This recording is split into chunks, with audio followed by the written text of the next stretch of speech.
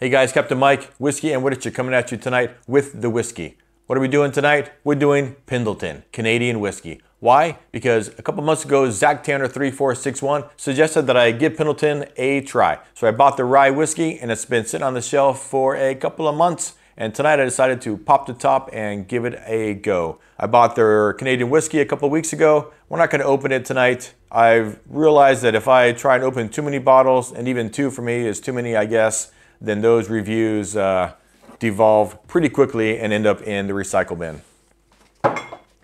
So we'll open that Pendleton Canadian whiskey sometime, but not tonight. But I'm excited about this Pendleton rye whiskey, and let's talk about it before we uh, get into it. It is 100% rye, which is awesome. I don't have very many rye whiskeys that are 100%. The Whistle Pig 6 year is 100% rye.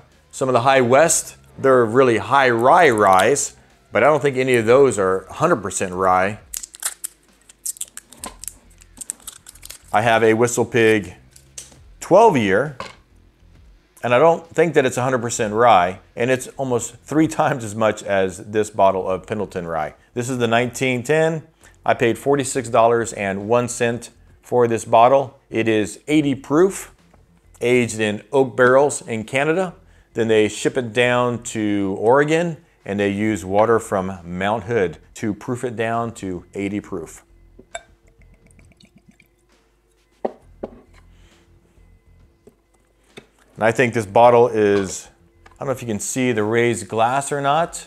It is a beautiful bottle, really well done. 12 year rye whiskey.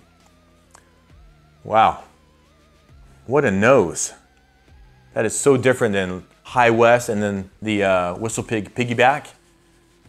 I had another rye a couple days ago, uh, the uh, Lost Monarch. Now that's 55% rye, and 45% uh, bourbon, so a low rye rye, but man, this nose is way different. Man, some wood maybe, burnt wood. Man, I don't know what's going on there. Hmm. Yeah, a little burning action there as I'm smelling that. Deep, it's got a deep nose, definitely different than any High West that I've smelled, any other rye. Let's give it a go.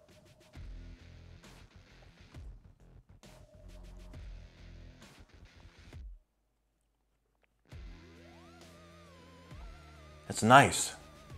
Maybe a nice pit fruit in there.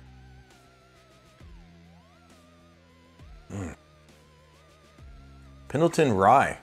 It's different.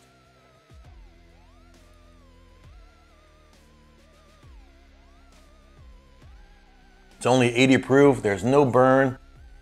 It's a 12 year, so I think that cuts down on the rye spices a little bit. Because I don't feel like I'm getting the same notes that I get on like say again, the High West is what I've drank the most as far as the ryes go. There's almost no bite, none of that kind of spice burn I associate with a high rye. And you would think a 12 year rye would be just crazy with those notes, but I think maybe that 12 year kind of mutes that and kind of brings the wood out uh, from the age in that, those oak barrels. So a nice finish. Just kind of not super long, just a little bit of a finish there.